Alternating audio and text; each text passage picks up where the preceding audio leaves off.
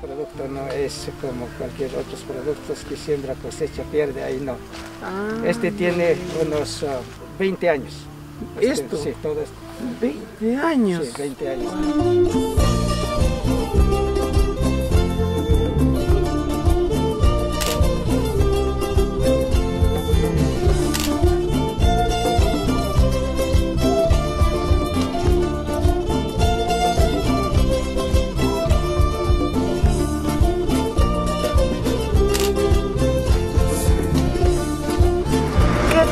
Chicos? ¿Cómo están? Espero que estén bien, bastante, bastante bien. En esta ocasión nos encontramos en la ciudad de Puyo. Pues hemos armado un pequeño viaje. Va a estar bien, bien buenísimo este, este viaje que hemos armado hasta la ciudad de Puyo.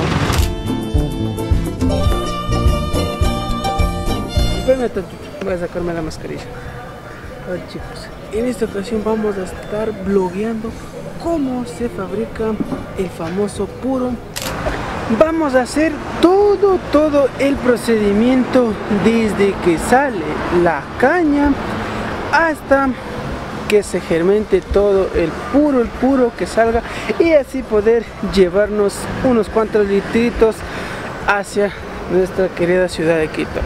Pues nada chicos, espero que me acompañen en esta pequeña aventura, de verdad que va a estar buenísimo este video, va a estar súper interesante, bien chido.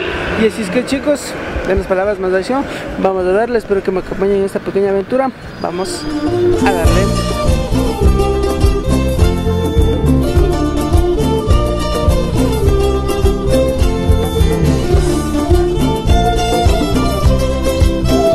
Después de unas horas de viaje, por fin chicos llegamos acá a este, este pueblito Jatumpaccha. Aquí vamos a ver el inicio de la caña y en esta ocasión tenemos a un amigo mío, bueno, un eh, amigo de hace muchos, muchos tiempos. Miren, ahí se va a echar el, echa el rogado, pero bueno. bueno, él nos va a enseñar cómo es el procedimiento de la caña.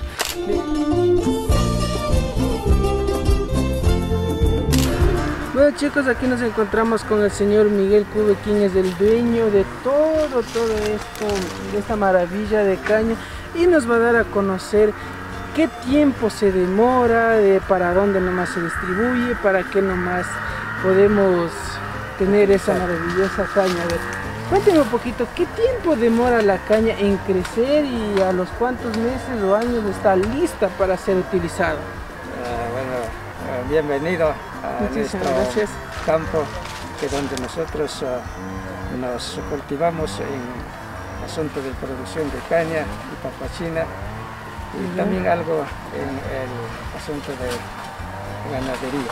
También ganadería le hace. Sí, ¿Cada qué ¿Qué es tiempo hacen de la limpieza de la caña? para mantenimiento bueno nos toca hacerle cada cuatro meses.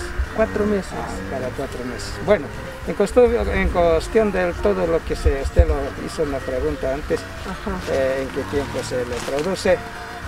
Eh, la caña en la monte virgen que se dice, en montaña primera, ah, se da la producción en, en un año, tres meses. Un año, tres meses ya de la listo. siembra. La, Desde de la la siembra, sí, tiene que Ya. pasarle tres veces el- la limpieza y para año tres meses está lista la cosecha, la primera cosecha. Claro. ¿Y cuántas cosechas? Usted me dice primera cosecha, se ve que hacen algunas Sí. cosechas. ¿Cuántas Eh, es lo máximo que se hace la cosecha? Bueno, yo tengo la caña de aquí Ajá. a unos 50 metros abajo. Ya. Ese, eh, ese sitio, o sea que ese siembra tiene 45 años. Uy, ay, ay, o sea, Eh, Este, este producto depende de la alimentación también. Ajá, entonces este producto no es como cualquier otros productos que siembra, cosecha, pierde, ahí no. Este tiene unos 20 años. Este, ¿Esto? Sí, todo esto. 20 años. Sí, 20 años. Wow. Pues yo me pensaba y estaba equivocado que la caña es una sola, un solo vida ya. Pero No, no, no.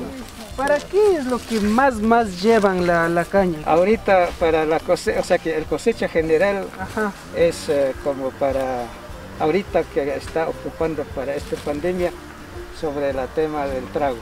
Ah. Esto está yendo todas las semanas solo para el trago. Para el trago. Entonces este, este producto se va limpio.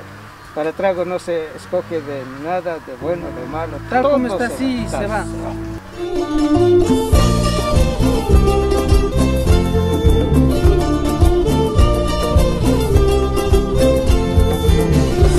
¿Esta papachina cada qué tiempo hace?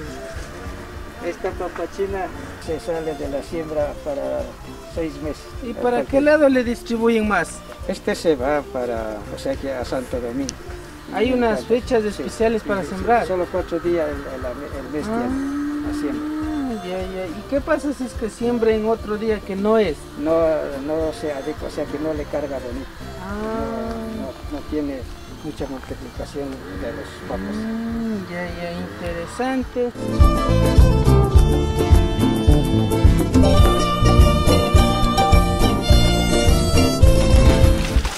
ahorita nos vamos a dirigir cómo están trabajando, cómo lo hacen de, de limpiar a la caña.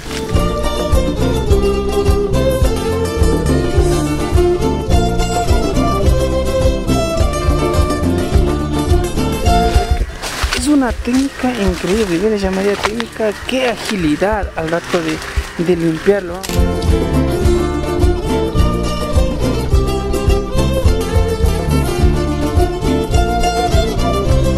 Para rematar con broche de oro chicos, después de ver la magnífica segmentación de todo, todo, todo, todo, todo lo que es la caña, el procedimiento y muchas cosas de haber aprendido, tenemos un pequeño arbolito que es el arbolito de guayaba. Vamos a probar uno.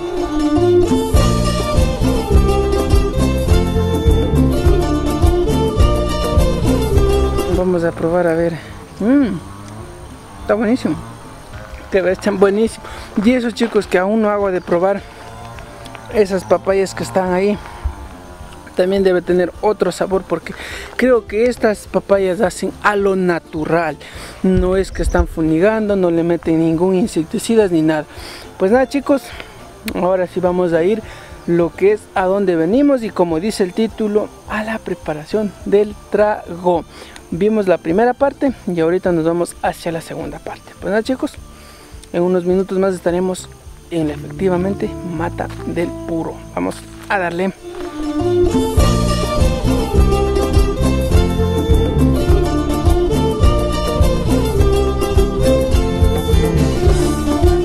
Después de estar todo el día en el cemental del, de la caña, donde nace, donde produce la caña, las mejores cañas que distribuye para todo el digamos casi todo el país, hemos llegado por fin a lo que hemos venido y como dice el título, a la casa donde fabrican el trago que es 100% natural.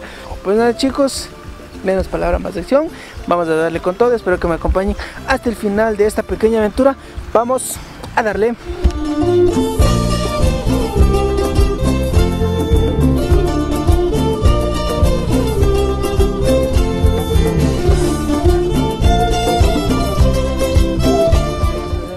Justo en Villa Macas en kilómetro 9, justamente en el sector San Vicente, donde produce el trago, donde se elabora las famosas puntas. ¿Me podría ayudar explicando cómo es el procedimiento, la elaboración de la, del trago más que todo y cada qué tiempo muele, cómo es el procedimiento, pues, las etapas más que todo, si no es mucha molestia, por favor. Ah, Nosotros Primeramente traemos la caña del campo. Ya. Le ponemos aquí, armando aquí, y arrumamos. Luego molimos.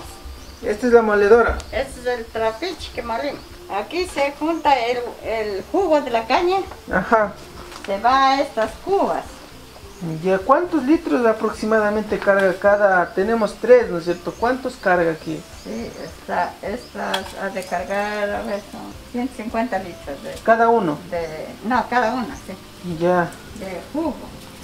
150 litros. Cada cuba. Cada cuba son tres, total sería 450. Sí. Y ahí una pregunta que me ha llamado bastante, bastante la atención. ¿Qué es eso que sale como burbujas? Sale Eso está hirviendo.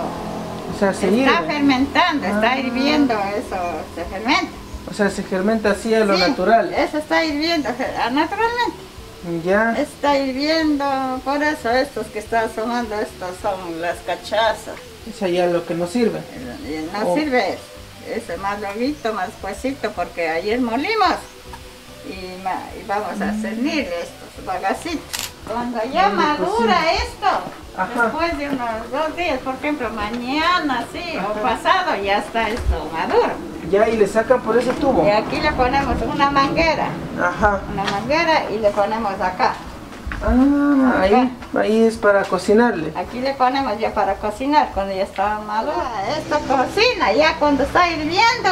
Ajá. Aquí hay este, estos tubos. Ah, El vapor de aquí, de lo que cocina, ajá. va por aquí. Todos estos tubos, tubos. Ya. Aquí hay una serpentina que le dicen la serpentina. Ajá. Es de cobre. Entonces aquí nosotros tenemos que poner agua. Agua. Agua bastante para que le enfríe el Ah. vapor ese que viene. Sí, sí, sí. enfría, entonces de ahí ya, eso ya cuando esté bien enfría y cae, Acá. cae acá, ahí le ponemos un, un balde. ¿Y cuántos litros le bota ya de trago puro y después que haya Este, cocinado? Entonces eso le, le cocinamos, eso se llama vinillo. Ajá. Ya llena este y se acaba el Ajá. cocinado este, se acaba, tenemos Ya. que botarle el, eh, lo que sobra, el agua, el, ya, lo que no vale. Sí, sí, sí. le botamos. Nuevamente le paramos la otra parada. Claro, sí, todo tiene Ah, su tiempo. tenemos que cocinar tres veces eso. Claro, tres. Y ya hay vuelta una sola vez para que salga el buen trago. En la segunda cocinada, ¿cuánto ya le sale de los tres? Todo, todo, todo ya listo, todo, todo ya cocinado. Tres cocinando sale Ajá. a, a uno y medio. Ah, o sea, esto es de esto es el resultado de los Sí, eso 150 es de litros. todito, eso la cuba, ve. Le damos todas tres cubas. Sale uno de estos y una mitad. así ¿Cuántos más. litros carga esa? Eso ya, ya va a 65 ya.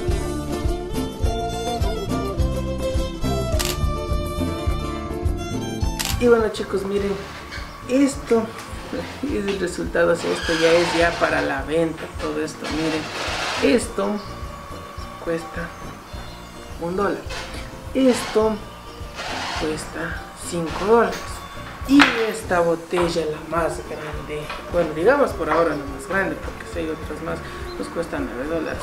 El precio es sumamente económico y accesible a pesar que otras partes el trago es de muy muy buena calidad, excelente, de verdad me gustó demasiado, incluso hasta en los precios está buenísimo, los recomiendo visitar este magnífico lugar y llevar eh, un puro pa, porque es demasiado bueno. Y bueno chicos, en unos días más estaremos con un nuevo video, no te olvides de compartir, suscríbete a este canal y a su salud.